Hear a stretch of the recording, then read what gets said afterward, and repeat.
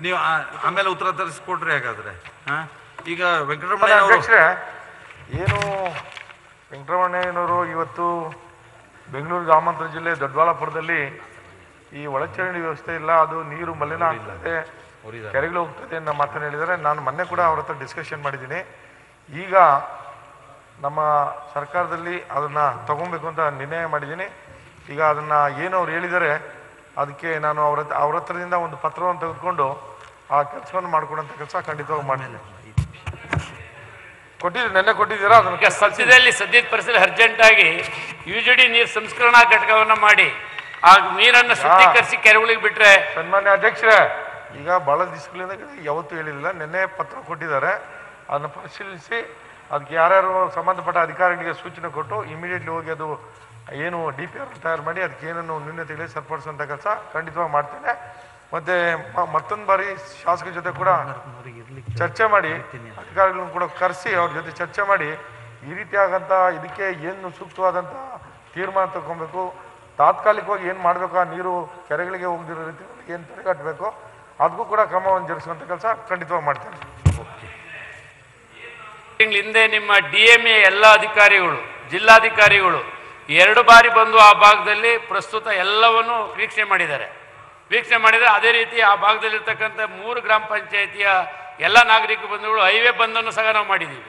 ಅವತ್ತು ಸಹ ಜಿಲ್ಲಾಧಿಕಾರಿಗಳು ಬಂದು ಈ ಸರ್ಕಾರಕ್ಕೆ ಮನವಿಯನ್ನು ಕಳಿಸ್ತೀವಿ ಅಂತಲೂ ಸಹ ಹೇಳಿ ಸರ್ಕಾರಕ್ಕೆ ಅದು ಡಿ ಎಂ ಎಯಿಂದ ಮತ್ತು ಜಿಲ್ಲಾಧಿಕಾರಿಗಳಿಂದ ಆ ಇದನ್ನು ಪ್ರಸ್ತಾವನೆಯನ್ನು ಸಹ ಬಂದಿದೆ. ಅದೇ ತುರ್ತಾಗಿ ಮಾಡಿಕೊಟ್ಟು ಆ ಭಾಗದಲ್ಲಿ ಜನ ಜಾನುವಾರುಗಳನ್ನ ಆರೋಗ್ಯದ ದೃಷ್ಟಿಯಿಂದ ರಕ್ಷಣೆ ಮಾಡಬೇಕು ಅಂತೇಳಿ ಸಭಾಧ್ಯಕ್ಷರ ತಮ್ಮ ಮುಖಾಂತರ ಕೇಳಕ್ ಸನ್ಮಾನ್ಯ ಅಧ್ಯಕ್ಷರೇ. ಓಕೆ ಈಗ ಹಾಲಪ್ಪನವರು ಹಾಲಪ್ಪ ಒಂದು ಕೆಲಸ ಮಾಡೋಣ ಸಮಾಜ ಕಲ್ಯಾಣ ಇಲಾಖೆ ವೈದ್ಯಕೀಯ ಶಿಕ್ಷಣ ಅವ್ರದ್ದು ಉತ್ತರ ಬಂದಿಲ್ಲ ನಾನು ಆಮೇಲೆ ಕೊಡ್ತೀನಿ. ಡಿ ಸಿ ತಮ್ಮಣ್ಣ ಅವರು ಇಲ್ಲ. ಹರ್ಷವರ್ಧನ್. ಹರ್ಷವರ್ಧನ್ ಉತ್ತರ ಬಂದಿದೆ. ಯಾರು ಉತ್ತರ ಕೊಡೋರು ಸರ್ಕಾರದಲ್ಲಿ? ಸಭಾಧ್ಯಕ್ಷರೇ ಪರವಾಗಿ. ಓಕೆ ಸೊ ಇವರು ಲಾ ಮಿನಿಸ್ಟರ್. ಉತ್ತರನ ಕೊಟ್ಟಿದ್ದಾರೆ ಇಲ್ಲಿ ನಾನು ಸಾಮಾನ್ಯವಾಗಿ ನನ್ನ ಕ್ಷೇತ್ರದ ಒಂದು ವಿಚಾರದ ಕೆಲಸಕ್ಕೋಸ್ಕರ ನಾನು ಈ ಸರ್ಕಾರಿ ಕಚೇರಿಗಳಿಗೆಲ್ಲ ನಾನು ಭೇಟಿ ಕೊಡ್ತಾ ಇರ್ತೀನಿ. ಆ ಸಂದರ್ಭದಲ್ಲಿ ಸುಮಾರು ನಮ್ಮ ಇರಿಗೇಷನ್ ಡಿಪಾರ್ಟ್ಮೆಂಟ್ ಇರ್ಬೋದು ಹೈವೇ ಇರ್ಬೋದು ಪಿ ಡಬ್ಲ್ಯೂ ಡಿ ಇರ್ಬೋದು, ಅಥವಾ ಪೊಲೀಸ್ ಡಿಪಾರ್ಟ್ಮೆಂಟ್ ಇರ್ಬೋದು. ಈ ಸುಮಾರು ಡಿಪಾರ್ಟ್ಮೆಂಟ್ಗಳಲ್ಲೆಲ್ಲ ಈ ಸ್ಕ್ರ್ಯಾಪ್ ವೆಹಿಕಲ್ಗಳು ಸುಮಾರು ಹತ್ತು ವರ್ಷ ಆದರೂ ಅಲ್ಲೇ ಇದೆ ಅದು. ಅದ್ರ ಬಗ್ಗೆ ಯಾವುದೂ ಕೂಡ ಕ್ರಮ ಜರುಗಿಸ್ತಾ ಇಲ್ಲ ಅಲ್ಲಿ. ಅದು ಹತ್ತು ವರ್ಷನೂ ಹಂಗೆ ಇದ್ದು. ಯಾಕಂದ್ರೆ ಪಾರ್ಕಿಂಗು ಸಿಗಲ್ಲ ನಮಗೆ. ಎಲ್ಲೋ ನಾವು ಆಚೆ ಕಡೆ ನಿಲ್ಲಿಸಿದ್ರೆ ನಮ್ಮ ಗಾಡಿ ನಮ್ಮ ಗಾಡಿಗೂ ಫೈನ್ ಹಾಕ್ಬಿಟ್ಟು ಹೋಗ್ತಾರೆ. ಒಳಗಡೆ ಆಫೀಸಲ್ಲೇ ಅವ್ರಿಗೆ ಜಾಗ ಇಲ್ಲ ಅಲ್ಲಿ. ಅಷ್ಟು ಸ್ಕ್ರಾಪ್ ವೆಹಿಕಲ್ಸ್ಗಳಿದೆ ಅಲ್ಲಿ.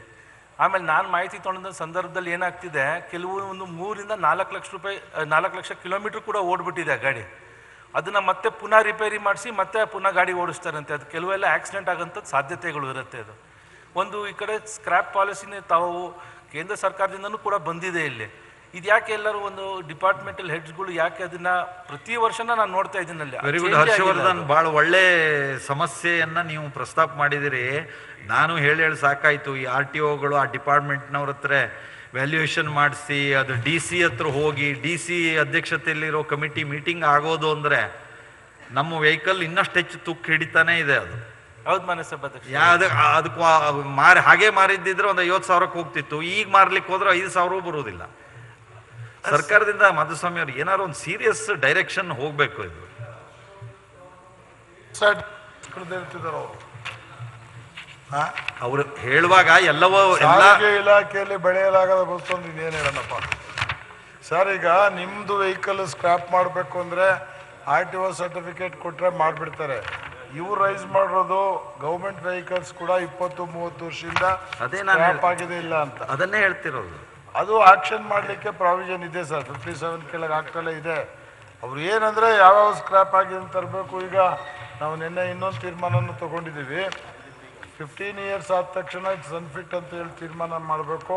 ಅದನ್ನು ಅವ್ರೇನಾದ್ರು ಮಾಡಿ ಸ್ಕ್ರಾಪ್ ಮಾಡ್ಕೋಬೇಕು. ಅವರು ಆಗಂತ ಸ್ಕ್ರಾಪ್ ಮಾಡಿದವ್ರಿಗೆ ಕನ್ಸೆಷನ್ನು ಕೊಡಬೇಕು. ನೆಕ್ಸ್ಟ್ ಗಾಡಿ, ಹೊಸ ಗಾಡಿ ತಗೊಂಡು ರಿಜಿಸ್ಟ್ರೇಷನ್ ಆಗೋ ಟೈಮಲ್ಲಿ ಇದು ಮಾಡಿದ್ದೀವಿ.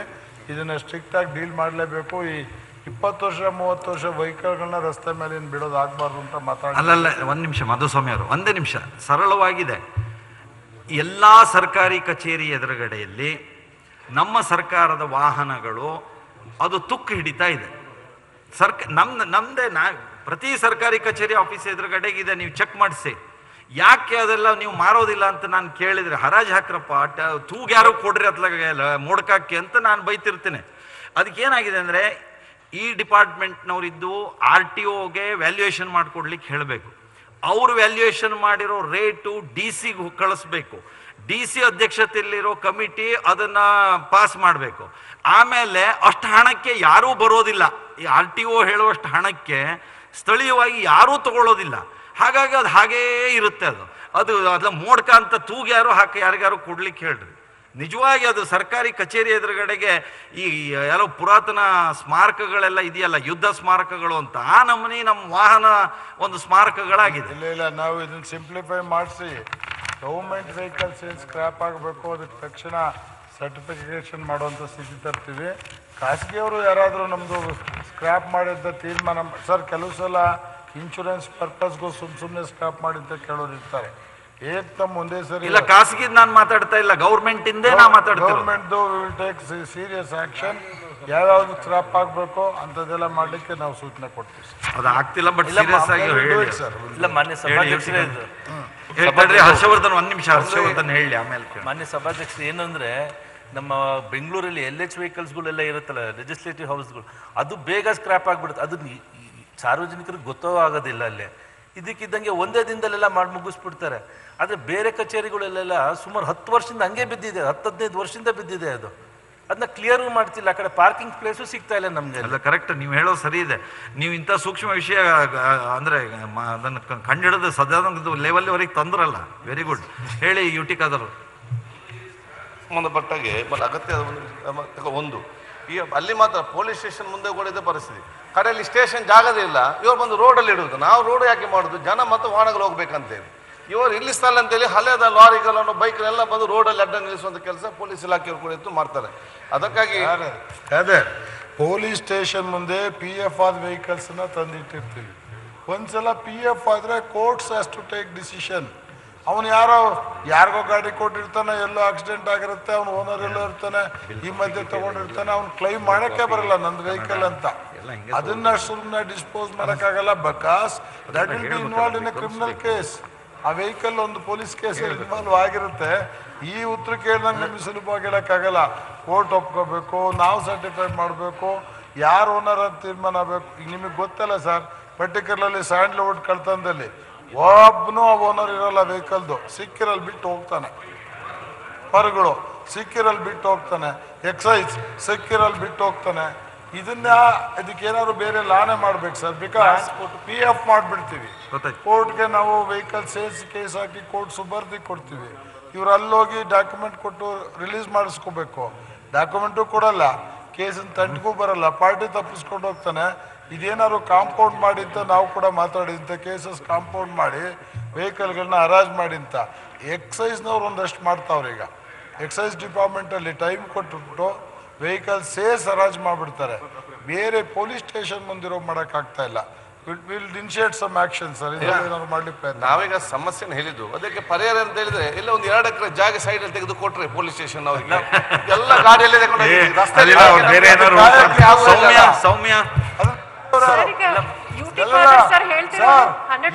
ಒಂದ್ ನಿಮಿಷ. ಈಗಲೇ ಪೊಲೀಸ್ನವ್ರು ಸೀಸ್ ಮಾಡಿದ ಗಾಡಿಲಿ ಸ್ಟೀರಿಯೋ ಬಿಡಲ್ಲ ಒಳ್ಳೊಳ್ಳೆ ನಿಮ್ದು ಏನು ಪಾರ್ಟ್ಸ್ ಬಿಡಲ್ಲ. ನೀವು ಎರಡೇ ಎಕರೆ ನಿಲ್ಸ್ಬಿಟ್ಟು ಎಂಜನ ಬಿಚ್ಕೊಂಡು ಹೋದ್ರೆ ಏನ್ ಮಾಡೋಣ? ವರ್ಷದ ಸ್ಟೇಷನ್ ಮುಂದೆ ಗಾಡಿ ಆಗಿದೆ. ಸ್ಟೇಷನ್ ಮುಂದೆ ಗಾಡಿಲೇ ಬಿಚ್ಕೊಂಡು ಹೋಗ್ತಾರೆ ಸರ್ ಪಾರ್ಟ್ಸು. ಈಗ ನೀವು ತಾವೊಂದು ಈಗ ನಿನ್ನೆ ಕ್ಯಾಬಿನೆಟ್ ಸಭೆಗೆ ಹೇಳಿದೆ. ಹದಿನೈದು ವರ್ಷ ಆದ ವೆಹಿಕಲ್ ಎಲ್ಲ ಇದರ ಬಗ್ಗೆ ಮರುಚಿಂತನೆ ಮಾಡಿ. ಯಾಕೆ ಟ್ಯಾಕ್ಸಿ ಓನರ್ಸ್ ಅವರು ಇವರು ಇದ್ದಾರಲ್ಲ ನೀವು ಅದೊಂದು ಇನ್ಸೆಂಟಿವ್ಸ್ ಕೊಡ್ತೀರಿ ಅಂತ ಹೇಳಿದ್ರಿ. ಆಯ್ತು ಒಳ್ಳೆ ಇನ್ಸೆಂಟಿವ್ಸ್ ಬಂದ್ರೆ ಆಗ್ಬೋದು. ಇಲ್ಲದಿದ್ದು ದುಡಿಯೋ ವರ್ಗಕ್ಕೆ ಬಹಳ ಕಷ್ಟಕರ ಆಗುವಂತ ಪರಿಸ್ಥಿತಿ ಹೊತ್ತು ಓಕೆ ಓಕೆ ಆಗ್ತದೆ. ಏನ್ ಸೌಮ್ಯ ರೆಡ್ಡಿ ಏನೋ ಹೇಳ್ತಿದ್ದಾರೆ? ಹದಿನೈದು ವರ್ಷ ಅಂತ ಹೇಳ್ತಾರೆ. ಗೌರ್ಮೆಂಟ್ ಇಪ್ಪತ್ತು ವರ್ಷ ಬಿ ಅವರಿಗೆ education department women and child depart ಅವ್ರದ್ದು ಲಾ ಜೀಪ್ ಎಲ್ಲ ನೋಡಿದ್ರೆ ಅದ್ರ ಬ್ರೇಕ್ ಉಂಟಲ್ಲ ಅಂತ ಗೊತ್ತಾಗದ ಪರಿಸ್ಥಿತಿಯಲ್ಲಿ ಇವತ್ತು. ವಿಲ್ಸ್ ವಿಲ್ಸ್ ಹಳೇದು. ಸರ್ ಇದು ನೋಡ್ರಿ ಒಂದೇ ನಿಮಿಷ ಮಾಧುಸ್ವಾಮಿ ಈಗ- ನನ್ನ ಊರಿನಲ್ಲಿ ಒಂದು ಗಾಡಿ ಇದೆ. ಪೆಟ್ರೋಲ್ ಗಾಡಿ. ಇನ್ನೂ ಮೂರು ಕಿಲೋಮೀಟರ್ ಕೊಡ್ತದೆ ಆದ್ರೂ ಹಾಕೊಂಡು ಹೊಡಿತಿದ್ದಾರೆ. ನಮ್ಮಲ್ಲಿ run by kerosene start by petrol ಅನ್ನೋ ಗಾಡಿ ಇದಾವೆ. ಓಕೆ ಪೆಟ್ರೋಲ್ ಸ್ಟಾರ್ಟ್ ಮಾಡಿ ಕೆರೋಸಿನ್ ಅಲ್ಲಿ ಓಡಿಸ್ತಿದ್ ಗಾಡಿ ನೋಡಿದ್ರ ನೀವು? ಅದೇ ಓಕೆ ಈಗ ಸಮಸ್ಯೆ ಇರೋದು ಈ ವೆಹಿಕಲ್ಸ್ ಬಸ್ನವನ್ನ ಇನ್ಸ್ಟಿಟ್ಯೂಷನ್ಸ್ ಮೇಂಟೈನ್ ಮಾಡೋದಕ್ಕಾದ್ರೆ ಅದಕ್ಕೆ ಏಜ್ ಆಗಿರುತ್ತೆ ಬಟ್ ಓಡಿರೋಲ್ಲ ಗಾಡಿಗಳು. ದಿವಸ ಒಂದು ಐವತ್ತು ಕಿಲೋಮೀಟ್ರ್ ಅರವತ್ತು ಕಿಲೋಮೀಟ್ರ್ ಮಕ್ಳನ್ನ ಕರ್ಕೊಂಬರಕ್ಕೆ ಹೋಗ್ತಾರೆ. ಅವ್ರನ್ನೆಲ್ಲ ಏಕ್ದಮ್ ನಾವು ಸ್ಕ್ರಾಪ್ ಮಾಡೋದು ಸರಿಯಾ ಅನ್ನೋದು ಒಂದು ಪ್ರಶ್ನೆ ಇದೆ ನಮ್ಮ ಮುಂದೆ. ವರ್ಷ ಆಯ್ತು ಅಂತ ಸ್ಕ್ರಾಪ್ ಮಾಡಕ್ ಆಗಲ್ಲ ಅದನ್ನ. ಕೇಳೋಣ, ಸೌಮ್ಯ ರೆಡ್ಡಿ ಏನು just? Thinking of Soumya Reddy ಏನು?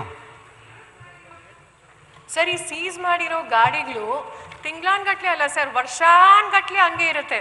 ನಮ್ಮ ಬೆಂಗಳೂರಲ್ಲಂತೂ ಜಾಗ ಇಲ್ಲ. ನನಗೆ ಬಹುಶಃ next world war parking traffic ಮೇಲೆ ಆಗುತ್ತೆ ಅಂತ ಅನ್ಸುತ್ತೆ. ಯಾಕಂದ್ರೆ ನಮ್ಮ ರಸ್ತೆಗಳು ಇರೋದು ಚಿಕ್ಕ ಚಿಕ್ಕದು ಎಲ್ಲ ಪರ್ಮನೆಂಟ್ ಆಗಿ ಪಾರ್ಕ್ ಮಾಡಿ ಹೋಗ್ತಾರೆ. ಇದಕ್ಕೆ ನಾನು ಟ್ರಾ ನಮ್ಮ ಸ್ಟೇಷನ್ಗೆ ಕೇಳಿದ್ರೆ ಮೇಡಮ್ ಜಾಗ ಇಲ್ಲ ಸ್ಟೇಷನ್ ಅಲ್ಲಿ ಅಂತ ಹೇಳ್ತಾರೆ. ಇದಕ್ಕೇನಾದ್ರೂ ಒಂದು ಪರ್ಮನೆಂಟ್ ಸೊಲ್ಯೂಷನ್ ಬೇಕು ಸರ್ ಈ ಗಾಡಿಗಳನ್ನ ದಯವಿಟ್ಟು ಇಮಿಡಿಯೇಟ್ ಆಗಿ ಒಂದು ಒಂದು ಟೈಮ್ ಲಿಮಿಟ್ ಇರಲಿ. ಸಿಕ್ಸ್ ಮಂತ್ಸಾ ತ್ರೀ ಮಂತ್ಸಾ ಒನ್ ಒನ್ ಮಂತ ಅದಾದ್ಮೇಲೆ ಅವರು ಅಲ್ಲಿಂದ ತಗೊಂಡು ಹೋಗ್ಬೇಕು ಸರ್ ತುಂಬಾ ಸಮಸ್ಯೆ ಆಗ್ತಾ ಇದೆ. ಅದು ವಿಶೇಷವಾಗಿ ನಮ್ಮ ಆ, ಬೆಂಗಳೂರಲ್ಲಿ. ಓಕೆ ಜಾರ್ಜ್ ಅವರು? ಇದೊಂದು ನಿಜವಾದ ದೊಡ್ಡ ಸಮಸ್ಯೆ ಬೆಂಗಳೂರು ನಗರದಲ್ಲಿ. ಬೇರೆ ಕಡೆನೂ ಇರ್ಬೋದು. ಇದೆ. ಈ ಪಾರ್ಕ್ ಮಾಡೋದನ್ನ ನಾವು ಕೇಳಿದರೆ ಅದು ಕೋರ್ಟಲ್ಲಿದೆ ಪೊಲೀಸ್ ಇದೆ ಸೀಸ್ ಆಗಿದೆ ಅದು ಬರ್ತದೆ. ಮತ್ತು ಇವರು ಹೇಳಿದ್ರು ಲಾ ಮಿನಿಸ್ಟರ್ ಹೇಳಿದ್ರು ಹಲವಾರು ಸಮಸ್ಯೆಗಳಿದೆ ಅಂತ ಹೇಳಿ. ಇದಕ್ಕೆ ಒಂದು ಮಾಡ್ಬೋದು ನಾವು. ಬೆಂಗಳೂರಲ್ಲಿ ಹೊರವಲಯದಲ್ಲಿ ಒಂದು ಐವತ್ತು ಎಕರೆ, ನೂರು ಎಕರೆ, ಒಂದೆರಡು ಜಾಗ ಮಾಡಿ. ಈ ವೆಹಿಕಲ್ನೆಲ್ಲ ತಗೊಂಡು ಅಲ್ಲಿ ಹಾಕಿದ್ದಾರೆ. ಅದು ಸ್ಕ್ರಾಪ್ ಯಾರ್ಡ್ ಮಾಡಿದ್ರೆ ಇನ್ನೊಂದು ಈ ಮಿಷಿನ್ ಇರ್ತದೆ ಫಾರಿನಲ್ಲೆಲ್ಲ ಇದೆ. ಎಂಥ ದೊಡ್ಡದಿದ್ದು ಸಮೇತ ಒಂದೇ ಎರಡು ಪ್ರೆಸ್ ಮಾಡಿಬಿಟ್ರೆ ಇದು ಸರ್ಕಾರಕ್ಕೆ ಒಳ್ಳೆ ಆದಾಯ ಬೇರೆ ಬರ್ತದೆ ಈ ಸ್ಕ್ರಾಪ್ ಇದರಿಂದ. ಇವತ್ತು ಆ ಕೆಲಸ ಒಂದು ಎರಡು ಮೂರು ಜಾಗದಲ್ಲಿ ಮಾಡಿದರೆ ಯಾವ್ಯಾವುದು ಅದನ್ನು ಸ್ಕ್ರಾಪ್ ಮಾಡೋದು ಇಮಿಡಿಯೇಟ್ ಆಗಿ ಸ್ಕ್ರಾಪ್ ಮಾಡಿಬಿಟ್ಟು ಅದನ್ನು ಅಲ್ಲಿಯೇ ಸೇಲ್ ಆಗ್ತದೆ. ಈ ವೆಹಿಕಲ್ ಸೇಲ್ ಮಾಡೋದಕ್ಕಿಂತ ಸ್ಕ್ರಾಪ್ ಸೇಲ್ ಮಾಡಿಬಿಟ್ರೆ ಅದಕ್ಕೆ ಸಾಕಷ್ಟು ಡಿಮ್ಯಾಂಡ್ ಇದೆ. ಏನು ಮಾಧುಸ್ವಾಮಿಯವರು ಏನಾರು ಒಂದು ಮಾಡ್ಬೇಕು ನೋಡಿ. ತರ್ತೀನಿ ಅಧ್ಯಕ್ಷ. ಓಕೆ ರಾಮಪ್ಪನವರು. ಅಧ್ಯಕ್ಷರೇ ಸರ್ ಅಧ್ಯಕ್ಷರೇ. ಒಂದೇ ಒಂದೇ. ಇದು ಒಂದು ನಿಮಿಷ. ಸನ್ಮಾನ್ಯ ಸಭಾಧ್ಯಕ್ಷರೇ ಸಮಸ್ಯೆ ಅಂದ್ರೆ ಏನಾಗಿದೆ ಅಂದ್ರೆ ನಮ್ಮ ಬೆಳಗಾವಿನಲ್ಲಿ ಹೇಳ್ತೀವಿ. ಇಪ್ಪತ್ತು ಇಪ್ಪತ್ತು ಸಾವಿರ ದಂಡ ಹಾಕ್ತಾರೆ ಸಣ್ಣ ವೆಹಿಕಲ್ಗೆ ಆವಾಗ ವೆಹಿಕಲ್ ಕಿಮ್ಮತ್ತು ಹತ್ತು ಸಾವಿರ ಇರುವುದಿಲ್ಲ ಅವ್ ಓನರ್ ಏನು ಮಾಡ್ತಾನೆ ಅನ್ನೋದು ವೆಹಿಕಲ್ ಬಿಟ್ಟು ಹೋಗ್ಬಿಡ್ತಾನೆ ಆ ನಿಮ್ ದಂಡನ ಬೇಡ ಗಾಡಿನ ಬೇಡ ಅಂತ ಎಲ್ಲ ಹೇಳಿದ್ರು. ಅದನ್ನೇ ಹೇಳಿದ್ರು. ಎಲ್ಲ ಸಮಸ್ಯೆ ಆಗತ್ತ ಸರ್ ಅದನ್ನೇ ಹೇಳಿದ್ರು ಅವರು ಹೇಳಿದ್ರು ರಾಮಪ್ಪ ಮಾನ್ಯ. ನಮ್ಮ ಹರಿಹರ ನಗರದಲ್ಲಿ ಸುಮಾರು ಎಂಟೂವರೆ ಎಕರೆ ಜಿ ಪ್ಲಸ್ ಟು ಮನೆ ಕಟ್ಟಬೇಕು ಬಡವರಿಗೆ ಅಂತಂದೇಳಿ ಒಂದೂವರೆ ವರ್ಷದಿಂದನೂ ಕೂಡ ನಮ್ಮ ಸೋಮಣ್ಣವರು ವಸತಿ ಸಚಿವರಿಗೆ ಸುಮಾರು ನಾವು ಒಂದು ಇಪ್ಪತ್ತು ಸರಿ ಅಡ್ಡಾಡಿದ್ದೇನೆ ಅದು ಎಲ್ಲದರಿಂದ ಅಲ್ಲಿ ಡಿ ಸಿ ಆಫೀಸು ನಗರಸಭೆಯಿಂದ ಎಲ್ಲರಿಂದ ಎರಡೆರಡು ಕೊಟ್ಟಿದ್ದಾವೆ ಸ್ಲಮ್ ಅಂತ ಕೂಡ ಆಗೈತಿ ನಮ್ಮ ಸು ವಸತಿ ಸಚಿವರು ಇಲ್ಲಿವರೆಗೆ ಯಾರೋ ಒಂದು ಒಂದು ಸೈನ್ ಮಾಡಿ ಕಳಿಸ್ತಾ ಇಲ್ಲ. ಒಂದು ಇನ್ನೊಂದು ಮನೆಗಳು ಮ್ಯಾಲೆಬೆನ್ನೂರು ಪುರಸಭೆಯಲ್ಲಿ ನಾನೂರು ಮನೆ ಮುಂಜೂರು ಮಾಡಿ ಸುಮಾರು ಆರು ತಿಂಗಳಾಗೈತಿ. ಮತ್ತೆ ಹರಿಹರ ನಗರಸಭೆಯಲ್ಲಿ ಮುಂಜೂರು ಮಾಡಿ ಉತ್ತರ. ಅಧ್ಯಕ್ಷರೇ. ಮುಂಜೂರು ಮಾಡಿ ಐನೂರು ಮನೆ ಮುಂಜೂರು ಮಾಡಿ ಅದು ಸುಮಾರು ಆರು ಏಳು ತಿಂಗಳಾಗೈತಿ ರಾಮಪ್ಪ ಅವರದು ಮಿನಿಸ್ಟ್ರಿ ಕೊಡ್ರಿ ಅಂತ. ಗೊತ್ತಾಯ್ತು ಹಂಗಾಗಿ ಅಲ್ಲಿ ಏನು ಏನು ಮನೆ ನಿರ್ಮಾಣ ಮಾಡ್ಬೇಕ ಬಡವರಿಗೆ ಯಾವ್ದೊಂದು ಕೂಡ ಅನುಕೂಲ ಆಗಿಲ್ಲ. ಹಂಗಾಗಿ ಅದ್ ದಯವಿಟ್ಟು ನಿನ್ನೆ ಇದ್ದರು ಸಚಿವರು ಇವತ್ತಿಲ್ಲ. ಅದನ್ನ ಅವ್ರಿಗೆ ಗಮನಕ್ಕೆ ತಗೊಂಬರ್ರಿ. ಈಗ ಅಲ್ಲಿ ಅವರು ಪರವಾಗಿ ಸ- ಜಿ ಪ್ಲಸ್ ಟು ಮನೆಗಳು ಎಲ್ಲ ರೆಡಿ ಇರೋದ್ರಿಂದ ಕಳಿಸಿಲ್ಲ. ಇವತ್ತು ಮನೆಗಳು ಆ, ಇದು ಪುರಸಭೆಯಿಂದ ವಾಪಸ್ ಬಂದವು ಮತ್ತೆ ಅಲ್ಲಿಗೆ ಇಲ್ಲಿಗೆ ಬೆಂಗಳೂರಿಗೆ ಬಂದವು ಮತ್ತೆ ಅಲ್ಲಿ ಬಂದಿಲ್ಲ. ನಗರಸಭೆದೇ ಬಂದಿಲ್ಲ. ಏನು ಮನೆಗಳಿಗೆ ಒಂದು ಕಂತು ಕೊಟ್ಟಿದ್ದಾರೆ ತಿರುಗಿ ಅಮೌಂಟು ಬಿದ್ದಿಲ್ಲ ಬಂದಿಲ್ಲ. ಅವರು ಒಂದು ಅರ್ಧಂಬರ್ಧ ಮನೆ ಮಾಡ್ಕೊಂಡು ಜನಗಳು ಭಾಳ ಕಷ್ಟ ಅನುಭವಿಸ್ತಾ ಇದ್ದಾರೆ. ಮತ್ತು ಏನೋ ಇವತ್ತು ಬಂಗಾರ ಏನು ಒತ್ತಿಟ್ಟೆಲ್ಲ ಮನೆ ಕಟ್ಸಿದ್ದಾರೆ. ಆದರೂ ಕೂಡ ಅದು ಏನು ಇನ್ನೂ ಎರಡು ಕಂತು ಅಮೌಂಟ್ ಬರಬೇಕು ಅದನ್ನ ದಯವಿಟ್ಟು ಅದನ್ನ ಸಚಿವರು ಅದನ್ನ ಬೇಗ ಬಿಡಿ ರಿಲೀಸ್ ಮಾಡಿಸ್ಬೇಕು. ಮತ್ತು ಮನೆಯ ನಿರ್ಮಾಣ ಮಾಡೋಕ್ಕೆ ಅದನ್ನು ಕೂಡ ಪರ್ಮಿಷನ್ ಕೊಡೋಕ್ಕಂತ ನಾನು ಅವರಿಗೆ ಮನವಿ ಮಾಡ್ಕೊಂತದೆ ಉತ್ತರ ಯಾರು ಕೊಡ್ತಾರೆ ಕೊಡ್ತಾರೆ. ಲಾ ಮಿನಿಸ್ಟರ್ ಕೊಡ್ತಾರೆ. ರಾಮಪ್ಪ ಅವ್ರದ್ದು ಉತ್ತರ. ಸರ್ ರಾಮಪ್ಪನವ್ರಿಗೆ ಉತ್ತರ ಕೊಟ್ಟಿದ್ದೀವಿ. ಸಾವಿರದ ನಾನ್ನೂರ ಅರವತ್ತೊಂಬತ್ತು ಮನೆ ಸ್ಯಾಂಕ್ಷನ್ ಆಗಿತ್ತು. ಇನ್ನು ಇನ್ನೂರ ಎಂಬತ್ತೇಳು ಮನೆಗಳು ಆರಂಭ ಆಗಬೇಕಾಗಿದೆ ಅಂತ ರಾಮಪ್ಪನವರೇ. ನಿಮ್ಮ ವ್ಯಾಪ್ತಿನಲ್ಲಿ ಎಂಟು ಎಕರೆ ಮೂವತ್ತೈದು ಗುಂಟೆ ಜಮೀನು ಕೂಡ ರಿಸರ್ವ್ ಆಗಿದೆ ಅಂತ ಕೊಟ್ಟಿದ್ದೀವಿ. ಮತ್ತೆ ನೀವೇನು ಮಾತಾಡಿದ್ರಿ ಅಂತ ನನಗೆ ಕೇಳಲಿಲ್ಲ ಹಾಂ ಅವೆಲ್ಲ ಪೆಂಡಿಂಗ್ ಅದಾವೆ. ಯಾವ ಕೂಡ ರಿಲೀಸ್ ಆಗಿಲ್ಲ. ನಿಜವಾಗ್ಲೂ ಕೂಡ ಭಾಳ ಕಷ್ಟ ಅನುಭವಿಸ್ತಾರೆ. ಬಡವರು ಒಂದೊಂದು ಕಂತಿಗೆ ಮನೆ ಕಟ್ಕೊಂಡು ಅರ್ಧಂಬರ್ಧ ಮಾಡ್ಕೊಂಡು ಹಣ ರಿಲೀಸ್ ಆಗಿಲ್ಲ. ಜಿ ಬಿಲ್ ಬರ್ತಾ ಇಲ್ಲ ಬಿಲ್ಲ ಬಿಲ್ಲ. ನಾನು ನಿನ್ನೆ ಮನೆ ಬಿಲ್ ಹಾಕ್ತಾ ಇಲ್ಲ. ನಿನ್ನೆ ರಿಪ್ಲೈ ಕೊಟ್ಟಿದ್ದೀನಿ ಸರ್. ಮುನ್ನೂರ ಇಪ್ಪತ್ತ್ಮೂರು ಕೋಟಿ ಕೇಂದ್ರದಿಂದ ರಿಲೀಸ್ ಆಗಬೇಕು. ನಾವು ಮುನ್ನೂರಾರು ಕೋಟಿ ಸ್ಟೇಟ್ ಶೇರ್ ಮಾಡಿ ಕೊಟ್ಟು ಅದನ್ನು ಮಾಡಬೇಕಂತ. ನಾವು ಸೋಮಣ್ಣವ್ರು ನೆನೆ ಯಾವುದಕ್ಕೂ ಉತ್ತರ ಕೊಡೋಗ್ಲು ನನಗೆ ಹೇಳೋಗಿದ್ರು. ಅದು ತಕ್ಷಣ ಅದು ಕೇಂದ್ರದ ಹಣ ಬಂದ ತಕ್ಷಣ ರಿಲೀಸ್ ಮಾಡಿ ಎರಡನೇ ಕಂತು ಮೂರನೇ ಕಂತು ಏನು ಬಾಕಿ ಇದೆ ಕೊಡ್ತೀವಿ ಸರ್ ಸರಿ ದಯವಿಟ್ಟು ಕೊಡಿ ಸರ್. ನಮ್ಮ ಕ್ಷೇತ್ರದಲ್ಲೂ ಇದು ಪ್ರಾಬ್ಲಮ್ ಆಗಿದೆ. ಇದೆ. ಅವ್ರು ಎಲ್ಲ ಕಡೆ ಬ- ಮುನ್ನೂರು ಈಗ ಮುನ್ನೂರು ಮುನ್ನೂರು ಕೋಟಿದು ಹೇಳಿದ ಮೇಲೆ ಎಲ್ಲ ಕ್ಷೇತ್ರದ್ದು ಇಡೀ ರಾಜ್ಯದ್ದು ಇದೆ ಅದರೊಳಗೆ. ಈಗ ಅದನ್ನು ಮಾಡ್ತಿದ್ದಾರಂತೆ ಫಾಲೋಅಪ್ ಫಾಲೋ ಅಪ್ ನೋಡೋಣ. ಸೋಮಶೇಖರ್ ರೆಡ್ಡಿ ಅವರೇ ನಿಮ್ಮದು ಉತ್ತರ ಬರಲಿಲ್ಲ? ಅದು ಆಮೇಲೆ ತಗೊಳ್ಳೋಣ. ಉತ್ತರ ಬರಲಿಲ್ಲ. ಈಗ ನಿಯಮ ಅರವತ್ತೊಂಬತ್ತರ ಅಡಿಯಲ್ಲಿ ಈಗ ನಾವು ಈ ಅತಿವೃಷ್ಟಿ ಬಗ್ಗೆ ಕೊಟ್ಟಿರುವಂಥದ್ದಿದೆ ನಾನು ಅದನ್ನು ಕನ್ವರ್ಟ್ ಮಾಡಿರೋದು. ಕಾಂಗ್ರೆಸ್ಸು ಜೆ ಡಿ ಎಸ್ಸು ಇಬ್ಬರು ತಾವು ಮಾಡಿಕೊಟ್ಟಿದ್ದೀರಿ. ಇನ್ನೊಂದು ಈಗ ಒಂದು ಒಂದು ಕಾಲ ತನಕ ನಡೆಸೋಣ ಸದನ. ಒಂದೂವರೆ ತನಕ ಸಾಧ್ಯ ಆದರೆ ಅಥವಾ ಒಂದು ಒಂದು ಕಾಲು. ಈಗ ಈಗ ಈ ವಿಷಯದ ಬಗ್ಗೆ ನಿಯಮ ಅರವತ್ತೊಂಬತ್ತರ ಮೇಲಿನ ಚರ್ಚೆಯಲ್ಲಿ ಈ ರಾಜ್ಯಾದ್ಯಂತ ಅತಿವೃಷ್ಟಿ ಅನಾವೃಷ್ಟಿ ಹವಾಮಾನ ವೈಪರೀತ್ಯಗಳಿಂದಾಗಿ ಕ- ಮತ್ತು ಕಳಪೆ ಬೀಜ ಕಳಪೆ ಇತ್ಯಾದಿ ಒಟ್ಟು ಏನೇನು ತೊಂದರೆ ತೊಡಕು ಆಗಿದೆಯೋ ರೈತ ಸಮುದಾಯಕ್ಕೆ ಅದನ್ನು ಸೋಮವಾರ ತಗೊಳ್ಳಿ ಸುಮ್ಮನೆ ಅದಕ್ಕೆ ಚರ್ಚೆಗೋಸ್ಕರ ಏನು ಏನ್ ಮಾಡೋಣ? ಇನ್ನೂ ಹನ್ನೆರಡುವರೆ ಮಾತಾಡಬೇಕು ದಯವಿಟ್ಟು ಆಯ್ತು ಹನ್ನೆರಡುವರೆ ಇನ್ನೂ ಒಂದು ಗಂಟೆಯೂ ಆಗಿಲ್ಲ ಅಂತ ಹೇಳಿದೆ ನಾನು. ನಾನು ಆ? ಏನ್ ಮಾಡೋಣ?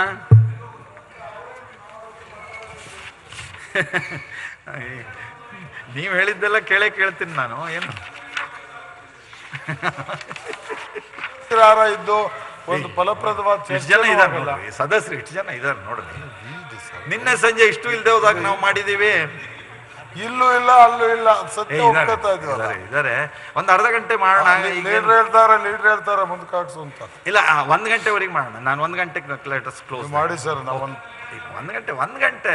ಈಗ ಕುಮಾರಸ್ವಾಮಿ ಅವರು ತಾವು ಶುರು ಮಾಡಿ ನಮ್ಮ ಮಾತನ್ನ ತಗೊಳ್ಳಿ ನೀವು ಅಧ್ಯಕ್ಷೆ, ನೀವು ಹೇಳಿದ್ದೆಲ್ಲ ನಾನು ಅಧ್ಯಕ್ಷ ಮೂರನೇ ನೋಡಿ ಅಧ್ಯಕ್ಷ ಗಂಗಾ ಕಲ್ಯಾಣದ್ದು ಮಾತನಾಡ್ತಾರೆ ನಾವು ನಾವು ರೆಡಿ ಇದ್ದೀವಿ ಗಂಗಾ ಕಲ್ಯಾಣದ್ದು ಮೂರನೇ ಸಿದ್ದು ನೀವು ನೀವು ಮಾತಾಡ್ತೀರಾ? ಸಿದ್ದು ಅವರು ರೆಡಿ ಇದ್ದಾರೆ.